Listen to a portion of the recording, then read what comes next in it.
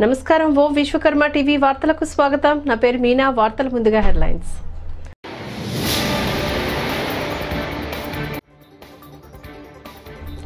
మణిపూర్లో జరుగుతున్న అల్లర్లపై స్పందించిన ముఖ్యమంత్రి వైఎస్ జగన్. వెల్లడించిన విద్యాశాఖ మంత్రి బొత్స సత్యనారాయణ.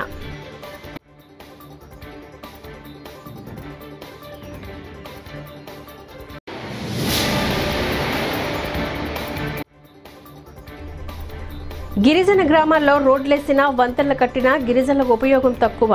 ఎక్కువగా సెటిలర్లే వినియోగించుకుంటున్నారు. వ్యాఖ్యానించిన ఉప ముఖ్యమంత్రి రాజన్న తొర.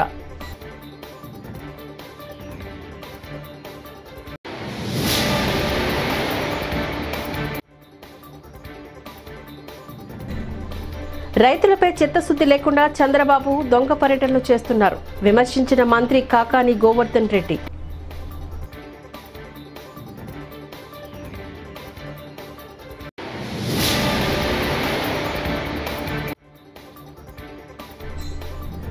మెరుగైన సౌకర్యాలు కల్పించి భక్తులకు దేవుడి దర్శనం సజావుగా అయ్యేలా చూడటంలో ఆలయ పాలక మండలి సభ్యులు కీలక భూమిక పోషించాలి. దేవాదాయ శాఖ మంత్రి కొట్టు సత్యనారాయణ.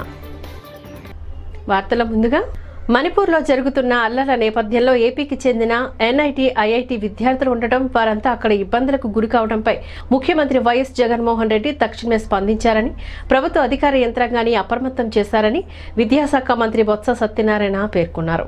ఇప్పటికే ప్రభుత్వం తరపున హెల్ప్ లైన్ కూడా ఏర్పాటు చేయడం జరిగిందని చెప్పారు. అక్కడున్న ఏపీ విద్యార్థులతో కూడా ప్రభుత్వ తరపున మాట్లాడామని ప్రస్తుతం అక్కడున్న ఉద్రిక్త వాతావరణంలో తాము ఉండలేమని సొంత రాష్ట్రానికి వస్తామని విద్యార్థులు కోరారు. మణిపూర్లో అక్కడ జరుగుతున్న అల్లర్ల నేపథ్యంలో మన రాష్ట్రానికి సంబంధించిన ఎన్ఐటి ఐఐటి సెంట్రల్ అగ్రికల్చర్ యూనివర్సిటీలో చదువుతున్న విద్యార్థులు ఇంకా మిగతా రాష్ట్రాల్లో చదువుతున్న విద్యార్థులు ఎవరైతే అక్కడ ఉన్నారో వాళ్ళందరూ కూడా మాతో సంప్రదించి టెస్ట్లో ఉన్నారు అందరూ మొత్తం. మేము ఆంధ్రాకు వచ్చేస్తాము అని వాళ్ళందరూ కూడా మాకు కొంత మీరు ఫెసిలిటేట్ చేయండి అని వాళ్ళు వచ్చి అడగడం. దాంతోపాటు ప్రభుత్వం వెంటనే మొన్నటి రోజు నేను చాలామందితో మాట్లాడాను. నిన్న ఉదయం నుంచి మాట్లాడుతూ ఉన్నాను. ప్రభుత్వం వెంటనే దాన్ని మేము ముఖ్యమంత్రి గారి దృష్టికి తీసుకెళ్ళిన వెంటనే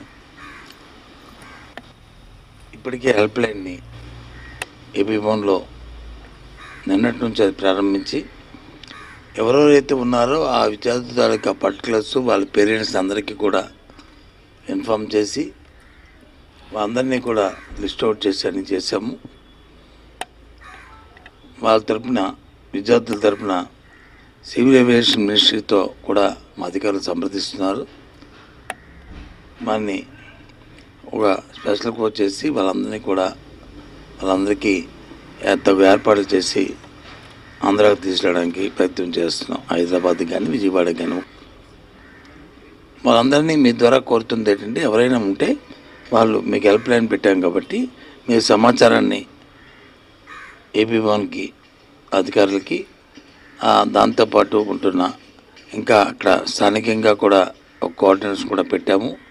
ప్రతి ఇన్స్టిట్యూట్లో కూడా ఒక ఒక హెల్ప్ లైన్తో పాటు ఒక కోఆర్డినేటర్ కూడా మేము చేసి పెట్టాము. వాళ్ళకి ఆ ఇన్ఫర్మేషన్ చెప్పినట్లయితే వాళ్ళని తీసుకొస్తారు. దయచేసి తల్లిదండ్రులు కానీ పిల్లలు కానీ ఎవరు కూడా ప్యానిక్ అయిపోకుండా ఒక ధైర్యంగా ఉండి అది చూసుకోమని వస్తాం ఇలాంటి సంఘటనలు జరిగినప్పుడు కొంత ధైర్యం కోల్పోకుండా ఉండి చేసుకోవాల్సిన పరిస్థితి ఉంది. వాళ్ళందరినీ కూడా రిక్వెస్ట్ చేస్తున్నాం తప్పకుండా వాళ్ళు చేస్తున్నాం. అంటే అందరిలాగే మేము పబ్లిసిటీ ఇప్పాము గిరిజన గ్రామాల్లో రోడ్లేసినా వంతెనలు కట్టినా గిరిజనులకు ఉపయోగం తక్కువని ఎక్కువగా సెటిలర్లే వినియోగించుకుంటున్నారని ఉప ముఖ్యమంత్రి రాజన్నదొర వ్యాఖ్యానించారు. పార్వతీపురం మన్యం జిల్లా సాలూరి మండలం మావూడు పంచాయతీల్లో ఆదివారం గడప గడపకు మన ప్రభుత్వం కార్యక్రమాన్ని నిర్వహించారు. ఈ సందర్భంగా రాజన్నదొర మీడియాతో మాట్లాడారు. న్యూస్ సి రైతులపై చిత్తశుద్ధి లేకుండా చంద్రబాబు దొంగ పర్యటన చేస్తున్నారంటూ మంత్రి కాకాని గోవర్ధన్ రెడ్డి విమర్శించారు. నెల్లూరులో మంత్రి మీడియాతో ఈ సందర్భంగా మాట్లాడారు. చంద్రబాబు మతిభ్రమించి మాట్లాడుతున్నారని రైతులను అడ్డం పెట్టుకుని పచ్చి అబద్ధాలే చెప్తున్నారంటూ మండిపడ్డారు. పంటల నష్టానికి సంబంధించి ప్రభుత్వం రెండు జీవోలు జారీ చేసింది. వాటి గురించి చంద్రబాబుకు తెలియదా అంటూ ఎద్దేవా చేశారు. రైతుల బీమాకు సంబంధించి ప్రీమియం మొత్తాన్ని రాష్ట్ర ప్రభుత్వమే చెల్లిస్తోంది. చంద్రబాబు హయాంలో ఏ రైతు ప్రీమియం చెల్లిస్తారో ఆ రైతుకే పంట బీమా వచ్చేదంటూ విమర్శించారు. రైతులందరికీ బీమా ద్వారా రక్షణ కల్పించాలనే లక్ష్యంతో ప్రీమియం మొత్తాన్ని చెల్లించాలని ముఖ్యమంత్రి వైఎస్ జగన్ నిర్ణయించారని వెల్లడించారు. బ్రిడ్జీలు కట్టిన అవి గిరిజనులకు ఉపయోగం చాలా తక్కువ. దాన్ని అంతా ఉపయోగించుకుంటున్న వాళ్ళందరూ ఇక్కడ సెటిలర్స్. ఆ సెటిలర్స్ ఎక్కువ మంది ఉన్నారు సౌదరీసే ఉన్నారు. రెడ్డిలు కూడా కొంతమంది ఉన్నారు. కానీ ఉద్దేశపూర్వకంగానే ఈ బబుల్ అనే వ్యక్తి మన కొట్టుకొర పంచాయతీలోని రోడ్డు వేస్తే దాన్ని అడ్డుకుంటున్నాడు. అలాగే ఇప్పుడు మామిడి రోడ్డు రెండు వేల ఎనిమిదిలో మేము మామిడి రోడ్డు నిర్మించాము. అప్పుడు కిషోర్ చంద్రదేవ్ గారు మేము. ఆ రోడ్డు పాడైపోయింది. ఎందుకు పాడైపోయింది ఆ రోడ్డు? వీళ్ళు పెద్ద పెద్ద లోడ్లు తీసుకొచ్చి ఆ బామాయిలు ఎవరైనా రోడ్డు మీద అలా గంటల తరపు ఉంచడం వల్ల భూమి కుంగిపోయి అక్కడ గోతురు అయిపోతుంది ఆ గోతులైపోవడం వల్ల నీరు వచ్చేస్తుంది. ఆ నీరు రావడం కూడా పాడైపోతుంది. కేవలం సెటిలైట్స్ కూడా రోడ్లు పాడైపోతున్నాయి కనీసం ఒక్కడికి కూడా కనీసం దాంట్లో రోడ్డు పాడైపోయి పాడైపోయింది కదా అని ఎవరు కూడా తీసుకొచ్చి కాస్త బుద్ధి కానీ గ్రావెల్ కానీ లేదంటే మన దగ్గర దాంట్లో ఉన్నాయి ఈ stone crusher stone crusher dust cut తీసుకొస్తామని కనీసం ఇది లేదు వాళ్ళు ఎవరికి కూడా. ప్రతిదీ గవర్నమెంట్ మీద తెలియమని చెప్తారు. మరి వాళ్ళు మాత్రం చేయరు. ఉపయోగపడుతుందంటే ఇక్కడ ఉన్న సెటిలర్స్కి వ్యాపారాలకు వారి పంటల కోసం. ఒక పక్క అరటి పంట ఇంకో పక్క మొక్కజొన్న పంట ఇంకో పక్క పామాయిల్ పంట ఇంకో పక్క కంద పంట ఇంకో పక్క ఫల వన ఫల వృక్షాల పంట అన్నమాట. రకరకాల పంటలు పండి వినియోగించుకుంటారు అటువంటిది నాలుగు అడుగులు రోడ్డు ఇవ్వడానికి కూడా బొబ్బులన్న వాడికి చేస్తున్నారు. దీనివల్ల మా గిరిజనులకు అంత నష్టం వారికి నష్టం అవుతుంది బబుల వల్ల ఈ ప్రాంతంలో ఉన్న వారందరూ కూడా సెటిలర్స్ బాధపడే అవకాశం ఉంటుంది బబుల్ కారణంగా ఈ సెటిలర్స్ మీరు బాధపడవలసి వస్తుంది. మేము గిరిజనులకు న్యాయం చేయాలంటే గౌరవ ముఖ్యమంత్రి దృష్టికి బబుల్ చేసిన విషయాలను కూడా చెప్పవలసి వస్తుంది. నేను చెప్పడం వల్ల ఈ ప్రాంతం అంతా గిరిజన ప్రాంతంగా ప్రకటించే అవకాశం ఉన్నది. దానివల్ల ఇక్కడ కొంచెం సెటిలర్స్గా నష్టం. మాకు ఎవరైతే ఈ కురుకుంటి ప్రాంతంలో ఉన్న సెటిలర్స్ వాళ్ళందరికీ నష్టం వస్తుంది. కాబట్టి ఇక్కడ ఉన్న సెటిలర్స్ అందరూ బబుల్ని ఒప్పించే రోడ్డు ఇస్తారు లేకపోతే మీరు పూర్తిగా గిరిజన ప్రాంతాన్ని ఇక్కడ ప్రకటించమంటారు మీరే చూసుకోమని చెప్తున్నాం అండి ఇదంతా కొంచెం షెడ్యూల్ ఏరియా ప్రకటిస్తాం. ఆయన కారణంగానే. లేదంటే మామూలుగా అయితే గిరిజనులకి న్యాయం చేసి మరొక విధంగా ఆలోచిద్దాం అనుకున్నాం. గిరిజనులకు న్యాయం చేస్తూనే మరొక విధంగా ఆలోచిద్దామని ముఖ్యమంత్రి గారు చెప్తున్నాం. కానీ వీళ్ళు ఉద్దేశపూర్వకంగా అన్ని లబ్ధి పొందుతూనే ఒక్కొక్క గిరిజనుల దగ్గరకు వచ్చి ఇబ్బంది పెడుతున్నారు అట్లా కాబట్టి ఎక్కడైనా సరే రోడ్డు అనేది ఉంటే ఆ భూమికి ఎక్కువ విలువ వస్తుంది. మెరుగైన సౌకర్యాలు కల్పించి భక్తులకు దేవుడి దర్శనం సజావుగా అయ్యేలా చూడటంలో ఆలయ పాలక మండలి సభ్యులు కీలక భూమిక పోషించాలని దేవాదాయ శాఖ మంత్రి కొట్టు సత్యనారాయణ అన్నారు. వ్యవస్థ అంతా తమ చేతుల్లోనే ఉండాలనే వ్యవహరిస్తూ తమ ఆధిపత్యం చలామణి కావాలనుకుంటే ప్రభుత్వం కూడా ఆలోచించాల్సి వస్తుందని హెచ్చరించారు. విజయవాడ దుర్గమల్లేశ్వర స్వామి దేవస్థానం పాలక మండలి చైర్మన్ కర్ణాటి రాంబాబు ఆలయ ఈవో బ్రహ్మరాంబ మధ్య తలెత్తిన వివాదం నేపథ్యంలో మీడియా అడిగిన ప్రశ్నకు కొట్టు సత్యనారాయణ స్పందించారు. ఏ శాఖలో ఏ అధికారి తప్పు చేసినా అక్రమంగా సంపాదించినా తెలిసిన సమాచారం మేరకు వాళ్ళ మీద దాడులు జరిపి అక్రమార్జన బయటికి తీసి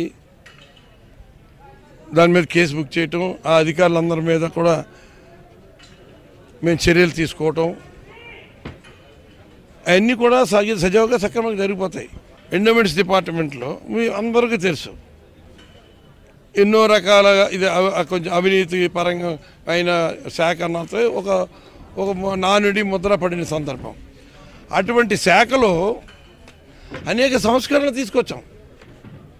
ఇవాళ ఎక్కడ శాఖాపరంగా అలసత్వం లేకుండా ప్రతి విషయం కూడా ఆన్లైన్ చేసి శాఖాపరంగా అక్కడున్న ఈవోలందరూ కూడా ఇష్టానుసారం కాకుండా ప్రీ ఆడిట్ సిస్టమ్ని రాష్ట్రంలోనే మొట్టమొదటి అమలు చేసిన శాఖ ఎండోమెంట్స్ డిపార్ట్మెంటు. అది కూడా ఈ సంవత్సరమే ఈ ప్రీ ఆడిటింగ్ అనేది కాంకరెంట్ ఆడిట్ అంటాం దాన్ని ప్రవేశపెట్టింది కూడా ఈ సంవత్సరం పెట్టాం. అధికారులు గతంలో కొంతమంది చేతుబాటానికి అలవాటు పడిన విషయం తెలుసు.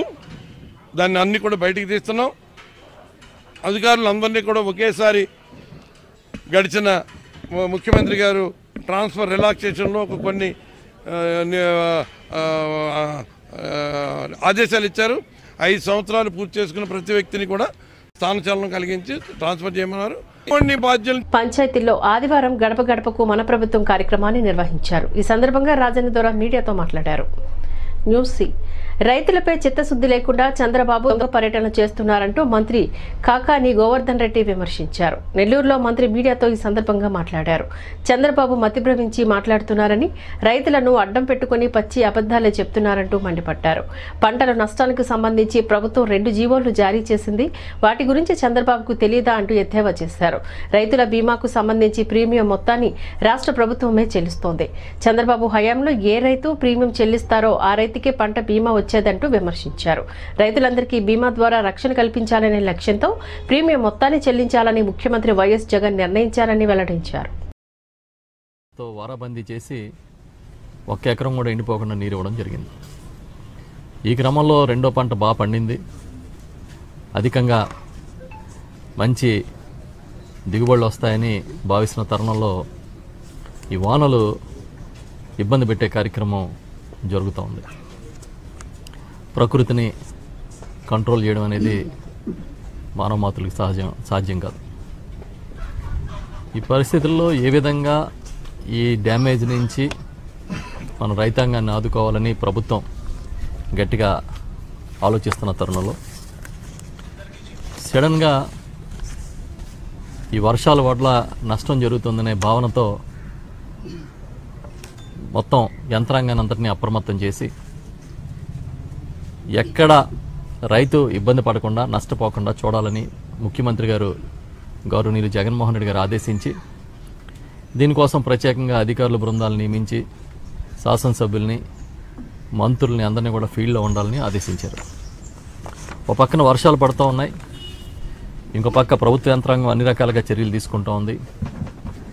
ఈ లోపలనే చంద్రబాబు రైతు బాంధవులాగా ఫోజు కొట్టుకుంటూ కొత్త వేషం వేసినట్టుగా ఊర్లోకి దిగబడిపోయాడు. ఎక్కడైనా ఏదైనా జరిగితే రాబందులు ఎలాగ వస్తాయో అలాగే రాజకీయ రాబందుకి చంద్రబాబు నాయుడికి ఈ వర్షాలు వచ్చినాయి రైతులు పాడైపోయినాయి అంటే అని అంటే పండగ చేసుకున్నట్టుగా ఉంది. దిగబడిపోయి ఇక్కడ దిగిపోయి ఏదో పొలాల్లో తిరిగేస్తున్నానని పది మంది తెలుగుదేశం పార్టీ కార్యకర్తలు వెంటేసుకుని జగన్మోహన్ రెడ్డి గారి మీద శాపనార్థాలు పెట్టుకుంటూ తాను రైతు బాంధవులాగా ఫోజులు కొట్టుకుంటూ తిరుగుతున్నాడు. ఇంకా అతను వాడే భాష అయితే ఇంకా తెగ చంద్రబాబు దిగజారిపోవడానికి మెట్లేం లేవు. చంద్రబాబు అనే ఈ రాష్ట్రంలో ఓ తెలుగుదేశం పార్టీ అధినాయకుడిగా ఉన్నవాడు. ఇంకెంతకన్నా దిగజారిపోవడం సాధ్యం ఉభయ గోదావరి జిల్లాల పర్యటనలో చంద్రబాబు తన స్థాయిని మర్చిపోయి వ్యవహరిస్తున్నారని ఎమ్మెల్యే జకంపూడి రాజా మండిపడ్డారు. చంద్రబాబు పబ్లిసిటీ స్టంట్స్ మానుకోవడం మంచిదని ఈ పర్యటనలో చంద్రబాబుకు వ్యవసాయం రైతులపై అభిమానం ఉన్నట్లు నటించారని రోజా ఎద్దేవా చేశారు. చంద్రబాబుకు వ్యవసాయం రైతులపై అభిమానం ఉన్నట్లు నటించారని రాజా ఎద్దేవా చేశారు. ఉభయ గోదావరి జిల్లాల రైతుల చంద్రబాబు తీరును చూసి నవ్వుకుంటున్నారు. అయితే గతంలో అసెంబ్లీలో బహిరంగ సభలో చంద్రబాబు ప్రసంగాలు ఒకసారి గుర్తు చేసుకుంటే మంచిదని ఎతో పలికారు. చాలా సందర్భాల్లో చంద్రబాబు వ్యవసాయం దండగా అన్న విషయాన్ని రాజా గుర్తు చేశారు. వ్యవసాయానికి విద్యుత్ ఇస్తే తీగల మీద బట్టలు ఆరేసుకోవాలని పలు సందర్భాల్లో చంద్రబాబు అన్నారు.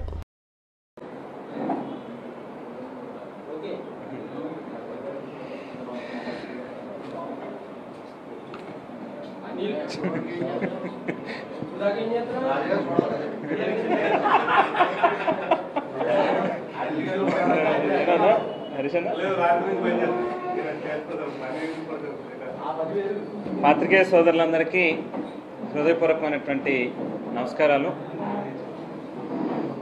గడిచినటువంటి రెండు మూడు రోజులుగా రాష్ట్ర ప్రతిపక్ష పార్టీ నాయకుడైనటువంటి చంద్రబాబు నాయుడు గారి యొక్క గోదావరి జిల్లాల పర్యటన కార్యక్రమం చూస్తే ఏ స్థాయిలో చంద్రబాబు నాయుడు గారు దిగజారిపోయారు అనేటువంటిది చాలా స్పష్టంగా మనందరికీ కూడా అర్థమవుతుంది. కేవలం ఒక చిట్ ఫండ్ వ్యాపారం ద్వారా గడిచినటువంటి పాతిక ముప్పై సంవత్సరాలు ధాన్యం కొనుగోలుకి సంబంధించి. చంద్రబాబు నాయుడు గారి తాలూకా పాలసీ ఇవాళ వైఎస్ఆర్ కాంగ్రెస్ పార్టీ ప్రభుత్వం తాలూకా పాలసీ. రెండిటికి కూడా ఎంత వ్యత్యాసం ఉంది అనేటువంటిది రైతుకి మేలు చేకూర్చేటటువంటి కార్యక్రమం ఈ ప్రభుత్వం ఏ స్థాయిలో చేస్తుంది అనేటువంటిది క్షేత్రస్థాయిలోకి వెళ్ళి రైతులను అడిగితే చెప్తారు. గతంలో చంద్రబాబు నాయుడు గారు ఏ రకంగా రైతుల్ని మోసం చేశాడు ఈవేళ ఈ ప్రభుత్వం ఏ రకంగా రైతాంగానికి మేలు చేకూరుస్తుంది అనేటువంటిది.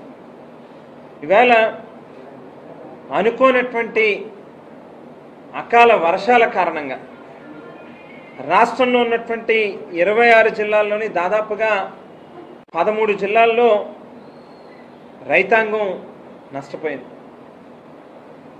ముఖ్యంగా మన గోదావరి శ్రీకాళహస్తీశ్వర ఆలయంలోని నిత్య అన్నదానాన్ని శ్రీకాళహస్తీశ్వర స్వామివారి దేవాలయం ధర్మకర్తల మండలి అధ్యక్షులు తారక అంజూరు శ్రీనివాసులు పరిశీలించారు. నిత్య అన్నదాన మండపానికి వెళ్ళి అన్నప్రసాదాలను తనిఖీ నిర్వహించారు.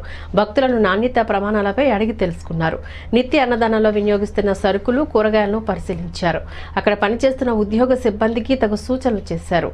అన్నప్రసాదాల్లో నాణ్యత ప్రమాణాలు ఏమాత్రం తగ్గరాదని రుచికరమైన అన్నప్రసాదం భక్తులకు పెట్టాలని సూచించారు. అన్నప్రసాదాల వడ్డంలో తగు జాగ్రత్తలు తీసుకొని ప్రతి భక్తుడు తృప్తికరంగా భోజనం చేసే విధంగా చేయాలని మర్యాదపూర్వకంగా వ్యవహరించాలని సూచించారు. శ్రీకాళహస్తీశ్వర స్వామివారి దేవాలయం ధర్మకర్తల మండలి అధ్యక్షులు అంజూరి తారక శ్రీనివాసులు మీడియాతో మాట్లాడారు. ఈ కార్యక్రమంలో దేవస్థానం అధికారులు అన్నదాన సిబ్బంది తదితరులు పాల్గొన్నారు.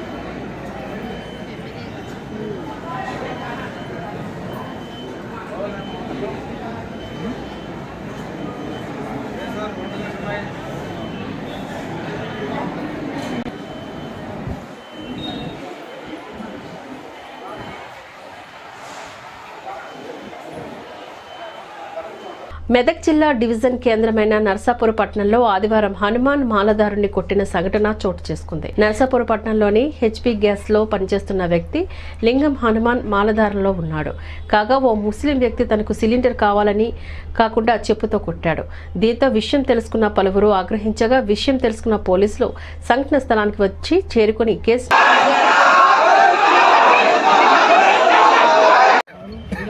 హనుమాన్ హనుమాన్ దీక్షలో ఉన్న స్వామిని అవపార అవమానపరుస్తూ గ్యాస్ ఏజెన్సీలో పనిచేస్తున్న పబ్లిక్ సర్వీస్ యొక్క సంస్థ లోపట పనిచేస్తున్న ఒక స్వామిని హనుమంతుని యొక్క దీక్షలో ఉన్నప్పటికీ కూడా ఈ యొక్క మత మౌఢ్యంతో ఏదైతే మత చందాసవాదంతో కళ్ళకు కనిపిస్తా ఉన్నది హనుమంతుని మాలయేషులు ఏ మతస్థులైనా ముస్లిం మతస్థులైనా సరే క్రైస్తవ మతస్థులైనా సరే వాళ్ళ యొక్క టోపీ పెట్టుకుంటే గానీ వాళ్ళ యొక్క వేషధారణలో ఉంటే గానీ ఈ మిగతా సమాజం గౌరవిస్తున్నది. ఏ ఎవరు ఏ మతంలో పుట్టినప్పటికీ కూడా ఆ సమాజాన్ని గౌరవించే బాధ్యత ఈ దేశంలో ఉన్న ప్రతి పౌరుని మీద ఆధారపడి ఉన్నది. కానీ అతను కళ్ళు మూసుకొని అయితే హనుమంతుని యొక్క దీక్షలో ఉన్నప్పటికీ కూడా సమాజం అంతా గౌరవిస్తుంది. ఈ దేశం లోపల హనుమంతుడు శక్తి మాలధారణ అంటే చాలా శక్తివంతమైన సిద్ధంగా ఉన్నా బొబ్బిలిపట్నంలో కేవీఆర్ ఎస్టేట్లో క్లబ్ హౌస్ ప్రారంభోత్సవం ఘనంగా జరిగింది. ఈ కార్యక్రమానికి ముఖ్య అతిథిగా ప్రముఖ నాయకులు బేబీ నాయన పాల్గొని క్లబ్ హౌస్ను ప్రారంభించారు. ఈ సందర్భంగా ఆయన మీడియాతో మాట్లాడుతూ ఈ కార్యక్రమంలో మరియు KVR estate partners Kadiyala Ramakrishna Sanjeevareddy Raju సిబ్బంది తదితరులు పాల్గొన్నారు.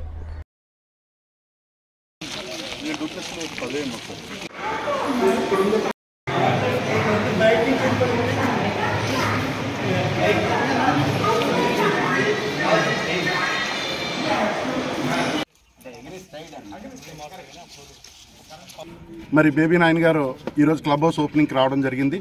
ఆయన చేతులతో ఆయన ఓపెన్ చేసి ఈరోజు మా జ- ఇక్కడ జరిగిన అభివృద్ధిని కూడా మీ అందరికీ కూడా తెలియజేశారు. అలాగే అన్ని లేఅవుట్ల మాదిరిగా కాకుండా మేము ఒక వినూత్నంగా ఇది చేస్తాం అది చేస్తామని చెప్పే సంస్థ మా కేవీఆర్ ఎస్టేట్స్ కాదు. చేసి చూపించే సంస్థ మా కేవీఆర్ ఎస్టేట్స్ అని నమ్మబలుగుతూ బొబ్బిల్లో మేము ఏ రోజైతే అడుగుపెట్టామో బొబ్బిలి ప్రజానికం కూడా మమ్మల్ని హక్కును చేర్చుకొని మాకు విరివిగా వచ్చి వారందరూ కూడా సహాయ సహకారాలు ఇప్పట్లాగే అందించాలని కేవీఆర్ ఎస్టేట్స్లో క్లబ్ హౌస్ ఓపెనింగ్కి నన్ను ఆహ్వానించినటువంటి మా పాత మిత్రులు ఆర్కే గారు రెడ్డి గారు రాజు గారు రంగరాయపురం గ్రామ సర్పంచ్ గారు ఎంపీటీసీ గారు అదేవిధంగా వివిధ గ్రామాల నుంచి విచ్చేసినటువంటి సహచరులు రాజబంధువులు పత్రికా సోదరులు చాలా చాలా సంతోషం ఎక్కడో వైజాగ్లోనో మెడ్రాస్లోనో బెంగళూరు సెలవు తీసుకున్నాం. మణిపూర్ రాష్ట్రంలో జరుగుతున్న అల్లర్ల నేపథ్యంలో అక్కడ ఉన్నత విద్యను అభ్యసిస్తున్న మన ఆంధ్రప్రదేశ్ రాష్ట్రానికి చెందిన విద్యార్థులను గురించి వారిని రాష్ట్రానికి తీసుకొచ్చే ప్రయత్నాలు ప్రారంభించామంటూ రాష్ట్ర విద్యాశాఖ మంత్రి బొత్స సత్యనారాయణ అన్నారు. ఇప్పటివరకు సుమారు వంద మంది విద్యార్థులు తమ పేర్లను నమోదు చేసుకున్నారని ఇంకా ఎవరైనా ఉంటే రాష్ట్ర ప్రభుత్వం ఏర్పాటు చేసిన హెల్ప్ లైన్ను సంప్రదించాలని సూచించారు. విజయనగరంలోని డిప్యూటీ స్పీకర్ కోలగట్ల వీరభద్రస్వామి నివాసంలో ఆదివారం నిర్వహించిన విలేకరుల సమావేశంలో మంత్రి బొత్స మాట్లాడారు. మణిపూర్ విద్యార్థుల సమస్యను ముఖ్యమంత్రి దృష్టికి తీసుకువెళ్ళామని అక్కడ చదువుతున్న విద్యార్థుల జాబితాను రూపొందించామని వారికి అన్ని విధాలా అండగా ఉంటామని హామీ ఇచ్చారు. దీనిపై కేంద్ర పౌర విమానాశ్రయ శాఖ మంత్రితో కూడా మాట్లాడడం జరిగిందని చెప్పారు. ఎన్ఐటి ఐఐటి సెంట్రల్ అగ్రికల్చర్ యూనివర్సిటీలో చదువుతున్న విద్యార్థులు ఇంకా మిగతా రాష్ట్రాల్లో చదువుతున్న విద్యార్థులు ఎవరైతే అక్కడ ఉన్నారో వాళ్ళందరూ కూడా మాతో సంప్రదించి టెస్ట్లో ఉన్నారు అందరూ మొత్తం. మేము ఆంధ్రాకు వచ్చేస్తాము అని వాళ్ళందరూ కూడా మాకు కొంత మీరు ఫెసిలిటేట్ చేయండి అని వాళ్ళు వచ్చి అడగడం. దాంతోపాటు ప్రభుత్వం అంతనే మొన్నటి రోజు నేను చాలామందితో మాట్లాడాను. నేను ఉదయం నుంచి మాట్లాడుతూనే ఉన్నాను. ఏవో కొన్ని పత్రికల్లో విజయనగరం నియోజకవర్గ పరిధిలో ఉన్న చెరువులను పరిరక్షణకు సంబంధించిన అధికారుల చర్యలు తీసుకోవాలని డిమాండ్ చేస్తూ జిల్లా కలెక్టరేట్ వద్ద ఉత్తరాంధ్ర చెరువుల పరిరక్షణ సమితి సభ్యులు నిరసన చేశారు. చెరువులను పరిరక్షించుకోవాల్సిన అవసరం ఎంతైనా ఉందని చెరువులను కబ్జా చేసి ప్రైవేటు సంస్థలు పెద్ద పెద్ద భవనాలు కట్టే వారిపై ఆయా సంబంధిత అధికారులు చర్యలు తీసుకోవాలని చెరువులు పరిరక్షణ సమితి సభ్యులు సంబంధించిన అధికారులను కోరారు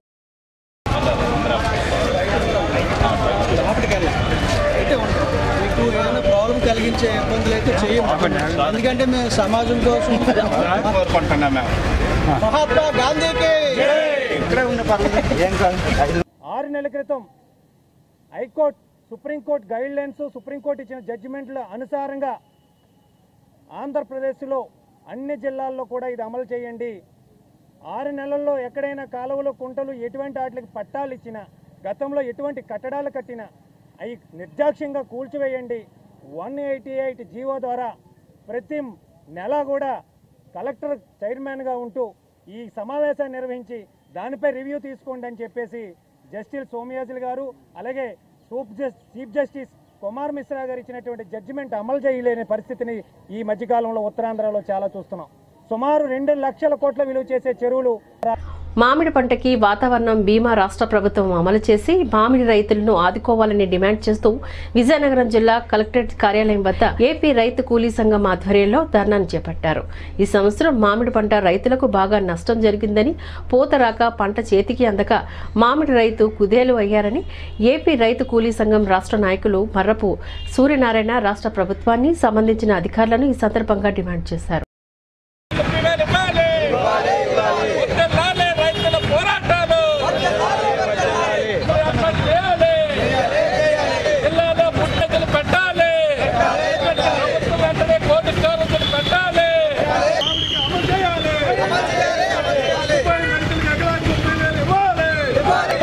వాతావరణ బీమా మామిడికి జిల్లాలో ఇవ్వాలి